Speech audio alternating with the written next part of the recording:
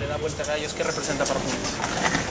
Sí, la verdad que es eh, difícil jugar con, con, un jugador menos y bueno, perdemos ahí el partido en, dos minutos, creo que no da vuelta el resultado, veníamos aguantando bien, pero bueno, se, se, se dio así, hay que, nada, hay que pensar en lo que viene y seguir trabajando. Martín, ¿no, no, no le rompen todo el esquema Pumas? O sea, las, las indisciplinas, los actos que, que, son, que cuestan expulsiones que no se justifican.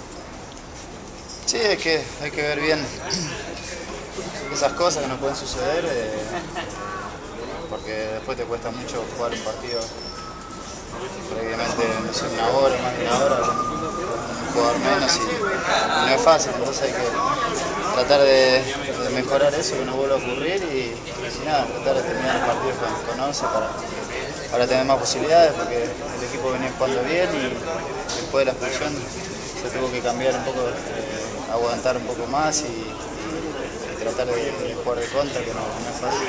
¿Se lo hacen saber a los compañeros eso? Tú como gente de experiencia, es decir, no te pueden expulsar así. Sí, seguramente eh, se hablará en la semana, eso creo que no, como te decía, no puede volver a, ocurrir. Nada, después queda lo, lo privado de lo que sabe. Después de dominar el primer tiempo, de ir ganando 1-0, da bronca que le den la vuelta así a Pumas. Sí, da bronca, eh, por ahí veníamos aguantando bien, como decía, y en, en dos minutos nos convierten dos goles ahí y bueno, después hace casi imposible revertirlo. ¿no? Gracias, Martín.